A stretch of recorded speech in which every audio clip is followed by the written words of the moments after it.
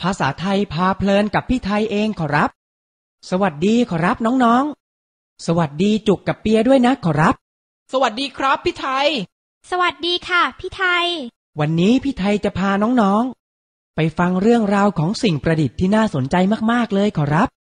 เรื่องคอมพิวเตอร์สื่อวิเศษ เด็กๆกลับมาแล้วเหรอจ๊ะ แม่ร้องทักเมื่อเห็นต้อมและหน่อยกลับมาจากโรงเรียน สวัสดีครับ สวัสดีค่ะ ต้อมและหน่อยสวัสดีคุณแม่ เมื่อต้อมและหน่อยเดินเข้ามาในบ้าน เห็นคอมพิวเตอร์ตั้งอยู่บนโต๊ะ ต่างร้องและกระโดดด้วยความดีใจชัยโย คุณพ่อซื้อคอมพิวเตอร์มาแล้ว ซื้อมาให้พวกเราเล่นเกมเหรอครับ ต้อมถาม คุณพ่อซื้อมาใช้งานต่างหากล่ะ หน่อยตอบแทนคุณพ่อ พ่ออยากให้ลูกๆรู้จักใช้คอมพิวเตอร์ให้เป็นประโยชน์ มากกว่าใช้เล่นเกมอย่างเดียว เพราะจริงๆ แล้ว คอมพิวเตอร์ใช้ทำงานได้หลายอย่าง ช่วยในเรื่องเรียนของลูกก็ได้ด้วยนะ ดีจัง คุณพ่อสอนวิธีใช้ให้ต้อมกับหน่อยนะครับ ได้สิลูก ก่อนอื่นเราต้องมารู้จักคอมพิวเตอร์ให้ดีกันก่อนดีกว่า คอมพิวเตอร์เป็นอุปกรณ์เครื่องใช้ชั้นเยี่ยม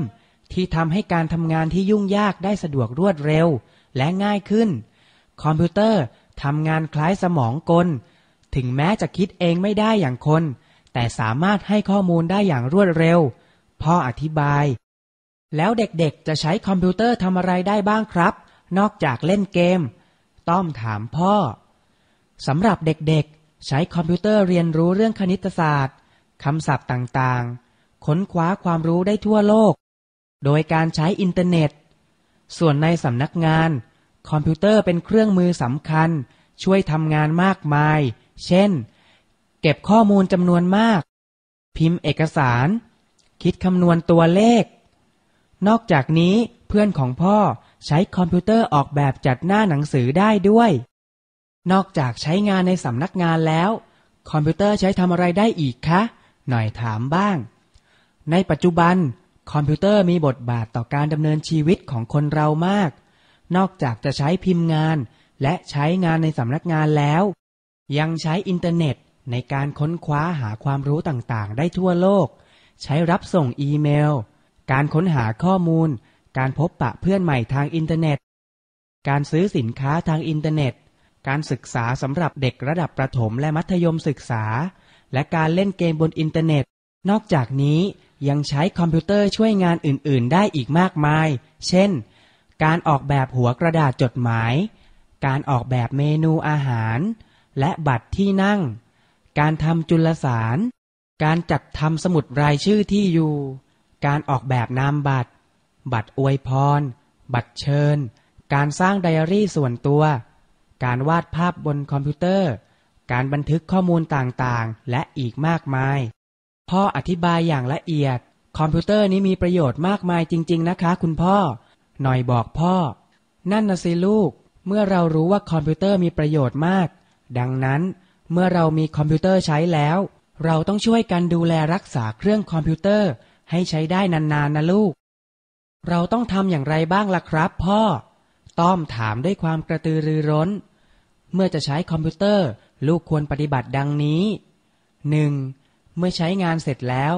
จะต้องคลุมเครื่องด้วยผ้าคลุมพลาสติกกันฝุ่น ซึ่งเป็นศัตรูสำคัญที่สุดของคอมพิวเตอร์ 2. ขณะใช้เครื่อง ห้ามนำอาหารหรือน้ำไปรับประทาน หรือวางไว้ใกล้ ๆ เพราะอาจหกใส่เครื่อง และมดขึ้นเครื่องได้ทำให้เครื่องชำรุดเสียหาย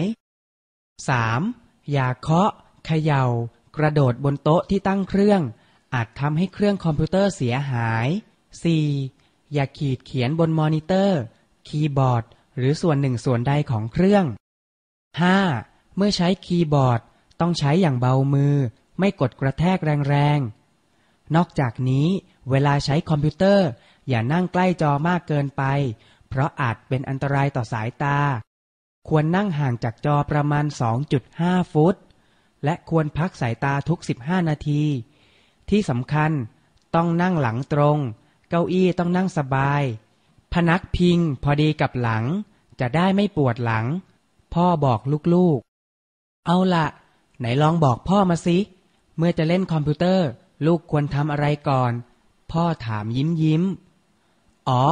ง่ายมากครับ ก็เปิดเครื่องก่อนสิครับต้อมรีบตอบ ไม่ใช่จ้า ต้องเสียบปลั๊กก่อน หน่อยแย่งตอบบ้าง ผิดทั้งคู่เลย ต้องขออนุญาตพ่อแม่ก่อน ต้องอาบน้ำ กินข้าวทำการบ้านให้เสร็จ แล้วต้องเล่นตามกำหนดเวลาด้วย ไม่ใช่เล่นนานจนไม่ลุกไปทำอะไรเลย นอกจากเสียสุขภาพแล้วยังเสียเวลาอีกด้วย พ่อบอกพร้อมกับอบรมสั่งสอนไปด้วย ขอบคุณครับ ต้อมกับหน่อยจะปฏิบัติตามที่คุณพ่อบอกครับ ต้อมพูดอย่างดีใจ ฟังเรื่องคอมพิวเตอร์กันแล้ว กระดานวิเศษจะมาบอกคำที่ควรทราบด้วยนะขอรับ คอมพิวเตอร์ อุปกรณ์ สมอง อธิบาย